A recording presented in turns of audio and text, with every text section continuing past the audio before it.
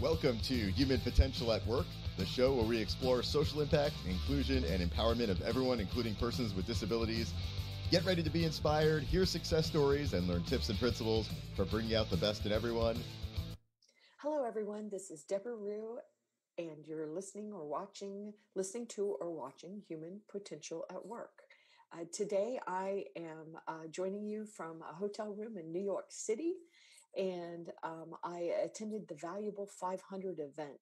That was the kickoff of the Valuable 500 in the United States here in New York City with Dr. Caroline Casey. And we got to meet all these amazing agency owners and uh, the CEO of Omnicom and a lot of the Omnicom executives that really um, are dedicated to make sure that the work that they're producing is inclusive for everyone and um, they're, they're really working hard to include people with disabilities. So this morning my guest coincidentally happens to be jason swenk and he's going to talk about what he does but he actually has his own podcast and i highly recommend listening to it. I'm very honored that to be one of his guests that'll in an episode that's coming up in december. Um, but the thing is jason is also a creative and he works with uh, creative agencies. But at the same time, Jason, like most of us human beings, has been touched by disability in his life as well. And uh, I would, uh, D- Jason and I have talked about this before, but I think it makes him more creative. So that we're going to talk about that today. So, Jason, thank you for joining the program today. Yeah, thanks for having me on. So, Jason, do you mind telling the audience a little bit more about who you are and what you do, and maybe a little bit more about your podcast too? Yeah, sure. So, uh, Jason Swenk in, in 1999, when Al Gore invented the internet, um, I literally started making designing websites. But my first website I designed was actually making fun of NSYNC because one of my best friends looked like Justin Timberlake from um, NSYNC, and so we created a fake band, fake website called InShit and it got popular.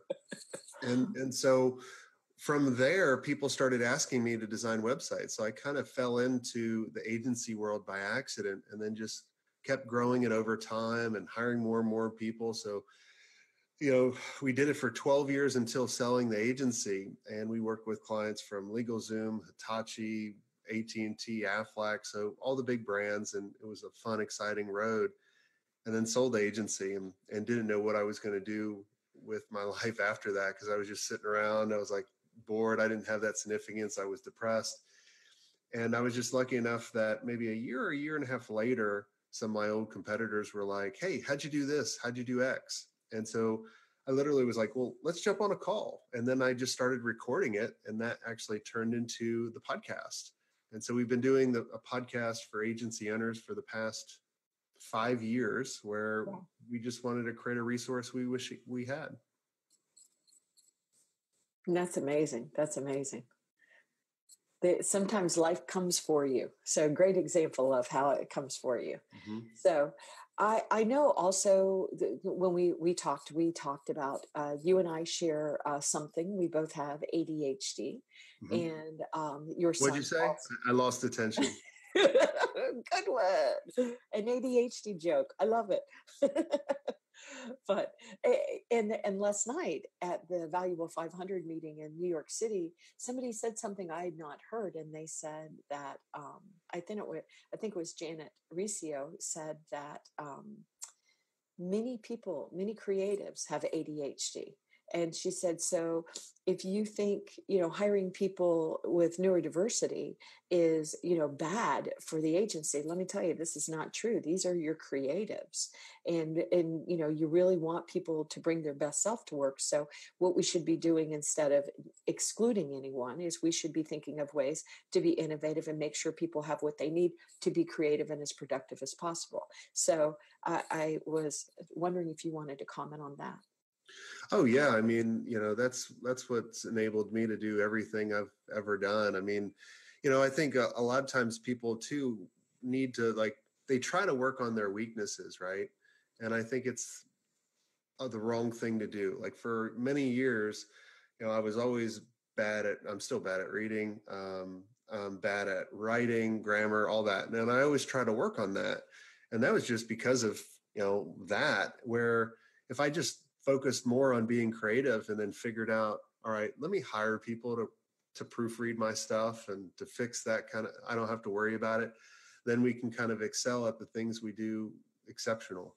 Um, and we can kind of see the world a little bit differently than you know other people you know i remember in school i even struggled and you know i didn't want to follow directions i want like i always looked for a way to do things a little bit different but school kind of keeps taking you down one way. That's why i hated school. I never had a good experience. I, I just couldn't wait to get out.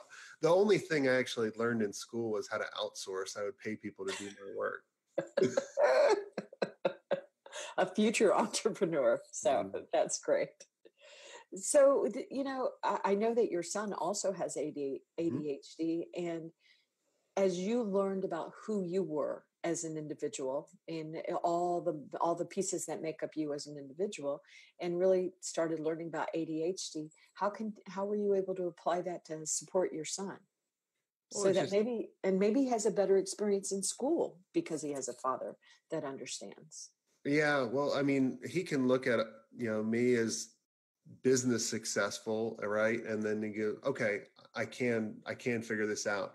Because he was going to kind of the traditional schools now he goes to an, a special school for adhd called howard in atlanta. It's it's really good very costly but it's worth it right? And so he's the type of person that just can't sit down. Um, he always wants to talk he always wants to socialize stand up. And you know I, I just tell him i'm like look you know you're a little bit different and you're going to stand out, which is a good thing, right? You could be like me, like I was kind of like that in school, and now I get paid to speak. I get paid to stand up. I get paid to talk. I get paid to think differently than everybody else rather than follow the stupid rules of being a manufacturer worker, right? Of kind mm-hmm. of like, that's why school was kind of invented is like to pe- teach people how to do assembly line crap. And so, you know, it's, it's, I think it's good for him to be like, okay, I, I got options. Like I know he has to own his own business one day. Like he won't be able to work for anybody, just like me. And that's very common with ADHD too. Um, I believe our producer Doug Foresta. I think it it, um, it, it has impacted his family too. And you know, I think of it. I, I got diagnosed very late in life, and um, and it was funny when you're describing your son because I thought, oh, that's me. I, I have the hardest time just sitting. It's like I'm always standing on planes or standing on trains, or I'm always finding some reason to stand up because I just am too.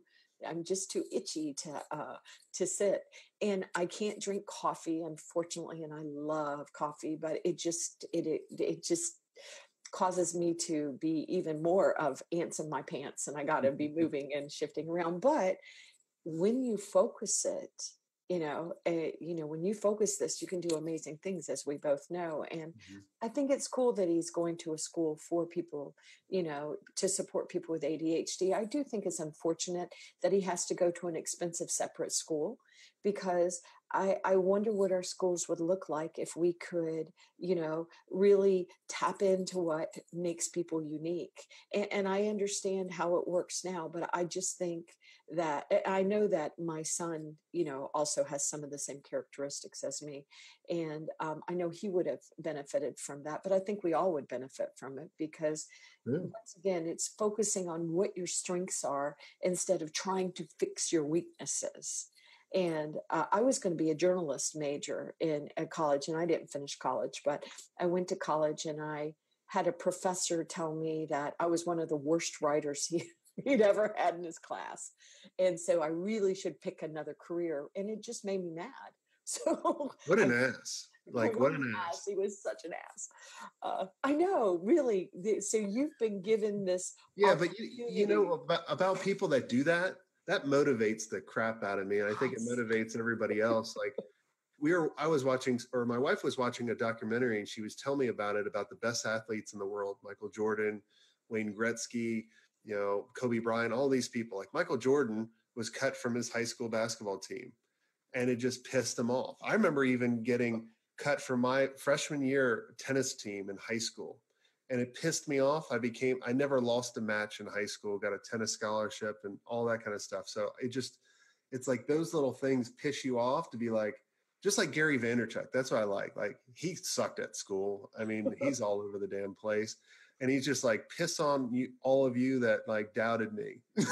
Right right. Oh really? I'm going to show you. Yeah that's that's exactly what i did to it made me so mad that uh, obviously i've never forgotten it but i would like to you know see where he is in his anyway it, yeah and that, i don't know if that's part of adhd but it just always makes me mad too when somebody says no to me or says something stupid to me and, now i'm old enough that i'm like mm, yeah okay i'll consider the source but i would like to explore a little bit this more this topic of creatives and ADHD, mm. and, and really not only ADHD, but the neurodiversity of our beautiful brains and deciding that pockets of people um, are broken. So you're broken because we're going to educate you only in this one way and I hope you fit into it. And if you don't, obviously something's wrong with you. Couldn't be something wrong with the system or the way we're educating or, you know, encouraging people to own their best self. So I've yeah, I mean, yeah, the, obviously the system's perfect because all these politicians are always making decisions for what's best for the people. Um, so I don't know what's going on. No, I think they're all a bunch of idiots.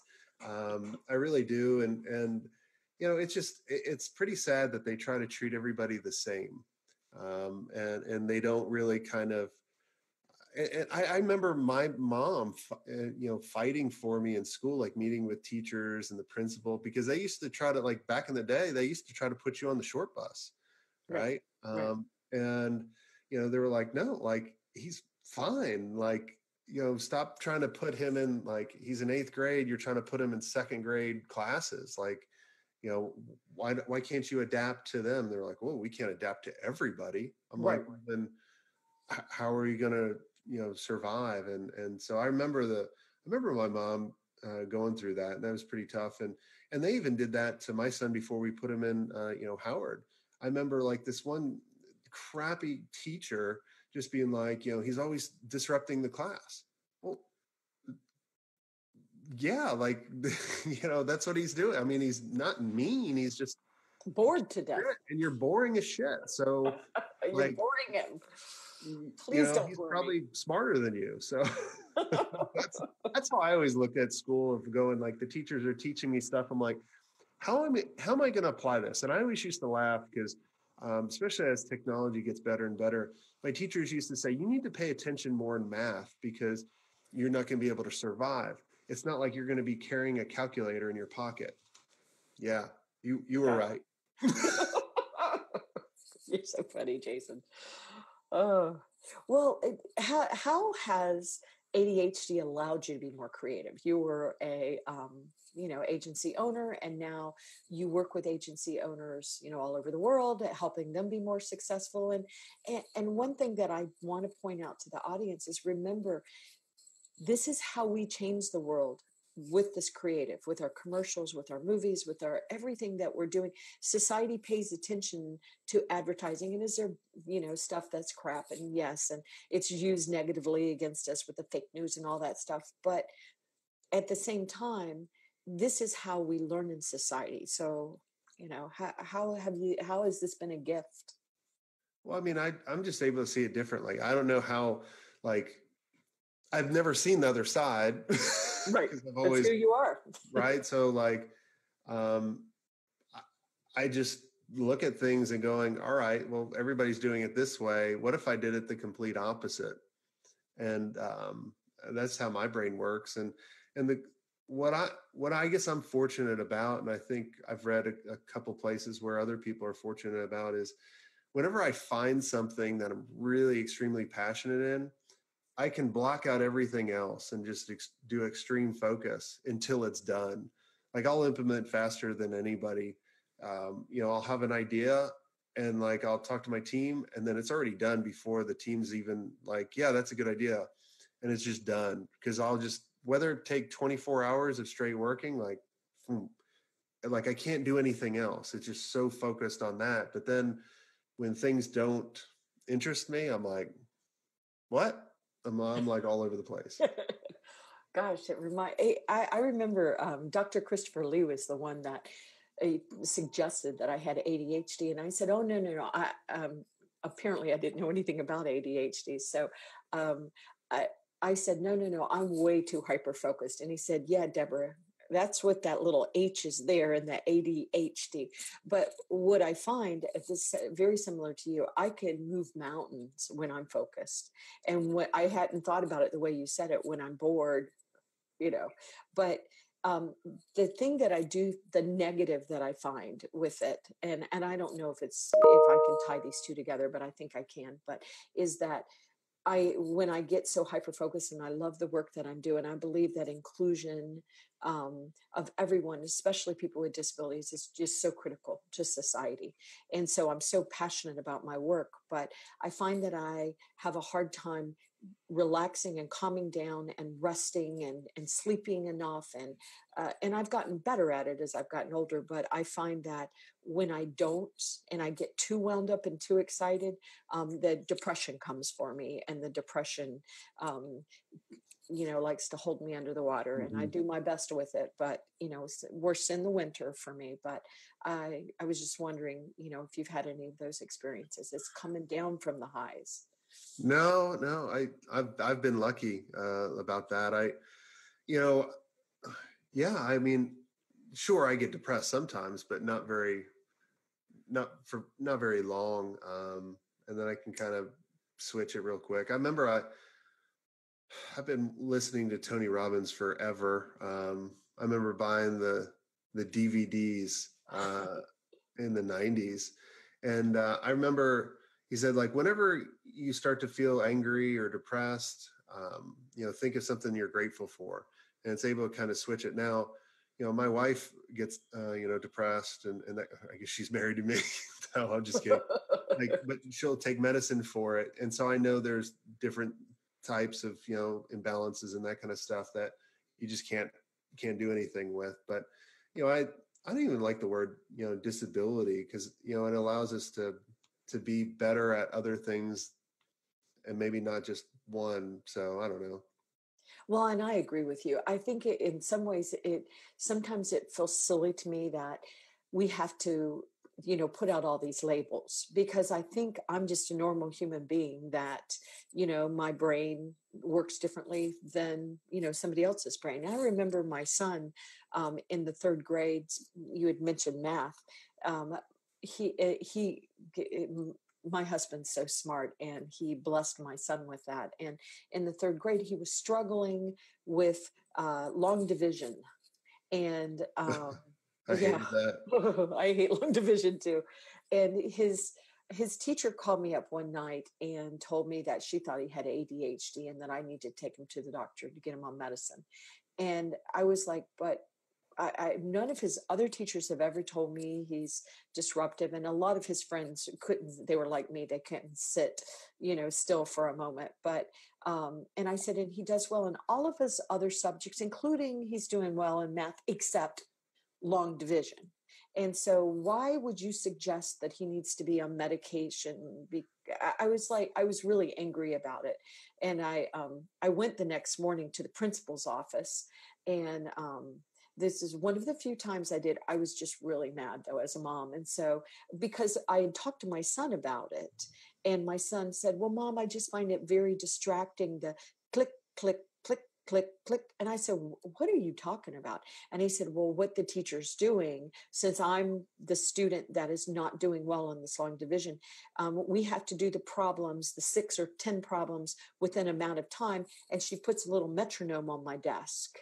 click, click, click, click. And I was like so mad about that. And I said to the principal, Shall I go in and get that off of his desk? Because I'm happy to do that right this sec. Mrs. Ruh, Mrs. Ruh, we'll take it. So he actually went to her and and and it was on my son's desk and it clicked click click and he took it off but my son was able to do these problems but he could only complete three of them in the allotted time as opposed to six yeah, I, yeah, I, that makes me so angry.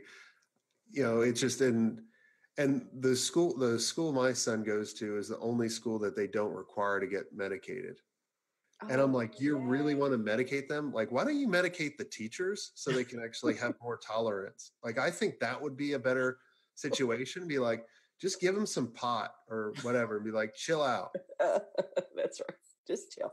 I know it's we have a lot of work to do, and the teachers are trying so hard in impossible situations too. But I, I, I look, I, I, am hopeful that as now that the agency owners are getting involved in these conversations, that we're going to start looking at ourselves and what makes us rich and multi-dimensional human beings, that we can really start applauding this. You know, we can look for this and say, wow, do you know how many business owners are dyslexic? and wow so maybe this is not a negative maybe it's okay to be on the spectrum whenever we're finding all kind of really interesting things about people that are on the autism spectrum mm-hmm. and people that have adhd and dyslexia and other neurodiversity and maybe people aren't broken but our brains are made differently because there are a billion things that you can do in the world and we should all get to do them together and it, it, I, i'm hoping for those times. I think those times are uh, happening right now and it was very exciting to be talking to these um, these very innovative and creative agency um, executives and owners last night and hearing how excited they were about the conversation. And i was talking to one woman and she was talking about just the the mental health problems that they're seeing right now in in the workforce and how people are they're scared they're fearful they're you know once again we have our media you know or the fake news all this stuff constantly telling us we're all in trouble we're this is going to happen but you know eh, there's a lot of fear um, it feels like there's a lot more fear happening in media than ever before. And how how is that affecting the agency owners that you work with and what recommendations do you have for those creatives, or do those topics even come up? I just tell them not to watch the news. Like it's so, so it's so it's so depressing when I do. You know, especially with you know what just happened. Uh, you know, I I try to turn off the news as much as possible, and then you know you'll get text messages and like I have a lot of agency and friends out in Colorado. You know, and then you have the school shooting, and I'm just like, you know, but like it's so horrible yeah so it's just i just tell them like look depending on it doesn't matter who's in charge uh i agree.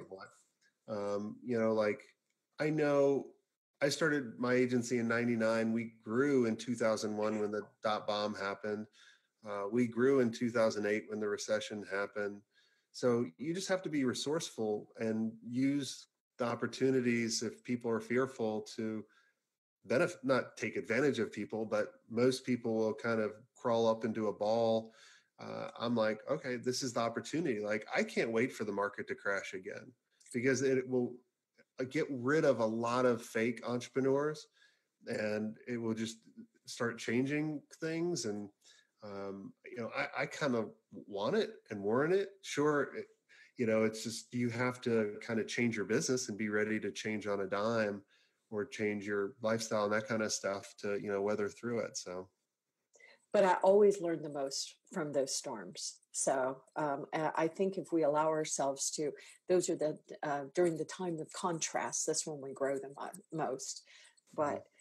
Well, I be, before we go, I would really um, like you to tell the audience how they can find out more about your work. How can they find out about your podcast, which I highly recommend. Very, very interesting.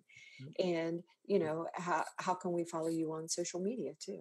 Yeah, the best place to go is just jasonswenk.com, and swenk is spelled S W E N K, so just jasonswenk.com. And then if you want links to both the podcast, you can go to swenkit, swenk.it and uh, it links to both shows uh, the smart agency masterclass which is a, a weekly show uh, where i interview agency owners and amazing people and then the swank today show is just kind of my weekly kind of sum up of what i think agency owners need to really know about um, you know in business and uh, yeah. And it's I, I perceive it's not just for agency owners it's for people that are interested in creative creativity and and doing better with your business if you're an entrepreneur and um, I, have learned i learn a lot from these programs so i just in my opinion i don't i think it's for um, human beings so um, yeah exactly yeah it can work for anybody but a lot of times i just i get really super specific uh, and then you can kind of uh, that that's how i do it where I really look at I don't have any competition. I just because I drilled down far enough. I only competition is cat videos and procrastination. So, well said, well said. I think it's very, very exciting that the the creatives have come into the conversation of inclusion. And last night I was thrilled that we gave out my we uh, gave a copy of everybody that attended a copy of my inclusion branding book because uh, you know, I think it's time to really recognize that diversity in human beings is a good thing. So I'm so thrilled that, you know, the marketing, the media, the creatives are now heavily engaged in these conversations. And I think if anybody can change this, these are the people that can do that. So, Jason, thank you for being on the show today, and thanks for the work that you're doing. And um, I'm really glad that your brain works the way it does. I think it benefits society. So, thank you so I'm just much. glad it works. That's right. That's right. It's a blessing. So, well, thank okay. you. Thank you, everyone. Thanks for joining the show today.